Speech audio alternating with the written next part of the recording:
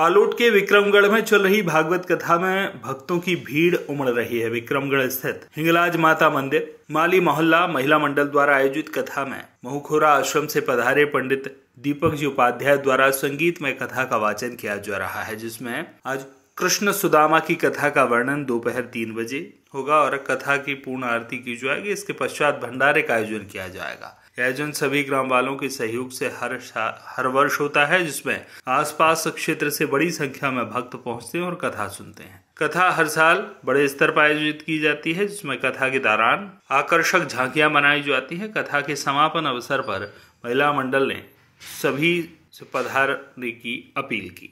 अभी कल कुछ युवा मंडली हमारे पास में आई थी। कहते हैं, गुरुजी जी जनवरी को राम मंदिर से खेड़ापति तक।